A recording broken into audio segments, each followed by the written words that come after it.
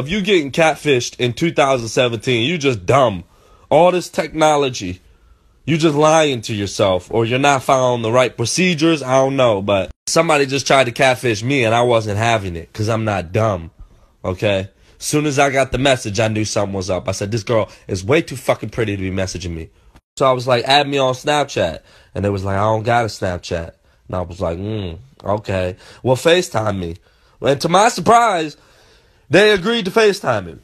But when I got on the FaceTime, the screen was just black.